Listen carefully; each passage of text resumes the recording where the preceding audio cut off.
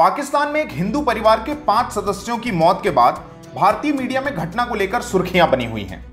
News channels और websites कह रही हैं कि पाकिस्तान में हिंदुओं पर अत्याचार के क्रम में ही यह घटना भी हुई है।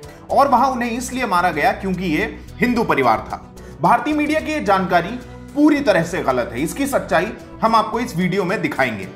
टाइम्स नाउ ने दावा किया कि यह घटना पाकिस्तान में हिंदू समुदाय पर अत्याचारों का एक और उदाहरण है। See, atrocities against uh, Hindus continue in Pakistan.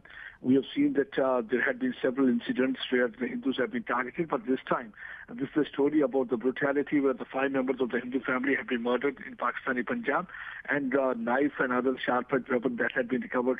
Uh, इसके बाद चैनल ने रिपोर्ट किया कि भाजपा ने संयुक्त राष्ट्र मानव अधिकार आयोग को पाकिस्तान में हिंदुओं पर हो रहे अत्याचार का संज्ञान लेने को कहा है फिर एक बार बहुत घिनौने तरीके से सामने आया है। मैं मानता हूँ कि अंतर्राष्ट्रीय मानवाधिकार संगठनों को यूनाइटेड नेशंस के ह्यूमन राइट्स ऑर्गेनाइजेशन को और सभी अंतर्राष्ट्रीय समुदाय को इसके बारे में अपनी चिंता भी बतानी चाहिए, इसकी दखल लेनी चाहिए और पाकिस्तान जैसे देश की जो सत्ता जिस पद्धति से चलाते हैं, उसके बारे में, इस विषय में आक्षेप एएनआई ने अपनी रिपोर्ट में पाकिस्तान के आउटलेट द न्यूज़ इंटरनेशनल को क्रेडिट दिया है। इस रिपोर्ट में लिखा है कि रामचंद एक मेघवाल हिंदू थे और उनकी उम्र 35 से 36 वर्ष थी। वो लंबे समय से टेलर की दुकान चलाते थे। वो शांत स्वभाव व्यक्ति थे। ये घटना सभी के लिए चौंकाने वाली थी। एएनआई की story Hindustan times, India today, Yahoo news, India dot com, Zee five और हिंदुस्तान ने रिपब्लिश की। वियन और जी न्यूज़ इंग्लिश ने भी एएनआई इनपुट्स के आधार पर कुछ ऐसी ही रिपोर्ट्स पब्लिश की।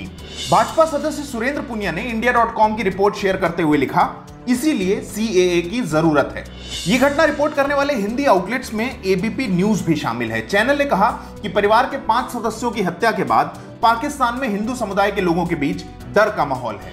वीकेंड स्पेशल में इस वक्त आपको बड़ी खबर बता रहे हैं। बड़ी खबर पाकिस्तान के मुल्तान में है। मुल्तान से है जहाँ पर एक हिंदू परिवार के पाँच लोगों की गला रेत कर हत्या कर दी गई है। अज्ञात हमलावरों ने धारदार हथियार से हमला कर पाँच लोगों की हत्या कर दी।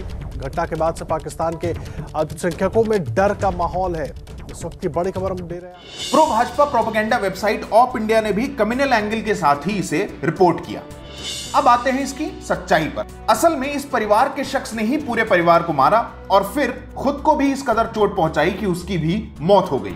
भारतीय मीडिया में अधिकतर रिपोर्ट्स पाकिस्तान के द न्यूज़ इंटरनेशनल की स्टोरी के आधार पर लिखी गई हैं। लेकिन एएनआई और कुछ अन्य आउटलेट्स ने द न्यूज़ इंटरनेशनल की पूरी बात लिखने के बजाय अपने सुविधा अनुसार बातें उठाई और अधूरी तस्वीर पेश की है।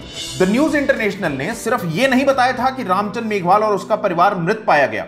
द न्यूज़ इंटरनेशनल ने यह भी बताया था कि परिवार का मुखिया रामचंद अपने परिवार का हत्यारा था।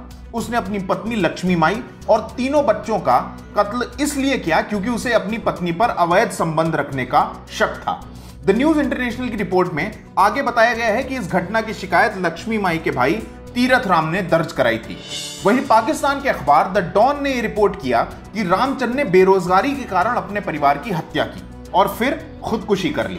द डॉन और द न्यूज़ इंटरनेशनल के वर्जन में वजह का अंतर तो है, लेकिन दोनों जगहों पर यही कहा गया है कि हत्या रामचंद ने ही की है। पाकिस्तान के एक स्थानीय चैनल पर इस मामले की एक वीडियो रिपोर्ट है।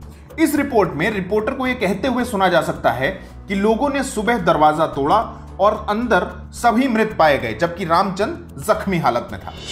खुद को खुदकुशी की है। इसके बारे में तहकीकात की जा रही है। फेंसिंग टीम यहाँ पर आई है। जिस कमरे में वो यहाँ पर मौजूद थे, यहाँ पर फेंसिंग टीम ने तमाम शवायद इकट्ठे कर लिए गए हैं। इसके कमरे के दरवाज़ा, सुबह जब उसका भाई, ये साथ ही उसके भाई का घर है, जो छोटी सी दीवार है, उसने उसको आवाज़ मारी कि सुबह उठे नहीं है, सुबह आठ बजे का वक्त हो गया तो बच्चे क्यों नहीं उठे? जब उसने उसको आवाज़ मारी, वो नहीं उठे तो वो अंदर आया, उसने देखा कि दरवाज़ा बंद था, दरवाज़ा खटखटाया तो नहीं खोला तो हमसायों की मदद से उसने इस दरवाजे को खोला, अंदर दाखिल हुआ तो देखा कि उसके भतीजे उसके भतीजा, उसकी दो भतीजियाँ और भाभी कत्ल मर चुके हैं, जबकि उसका भाई शदीद जख्मी हालत में है, जिसके गला काटा हुआ है, उसको जख्मी हालत में। इसी वीडियो रिपोर्ट में रिपोर्टर ने रामचंद की बहन से भी बात की। मृत रामचंद की बहन ने बताया कि रामचंद के पास बीते दो साल से कोई भी काम नहीं था और वो बेरोजगार था।